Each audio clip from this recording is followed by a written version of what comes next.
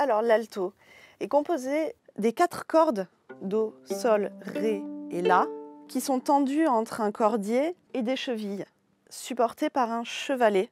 Alors le principe, c'est de mettre une corde en vibration.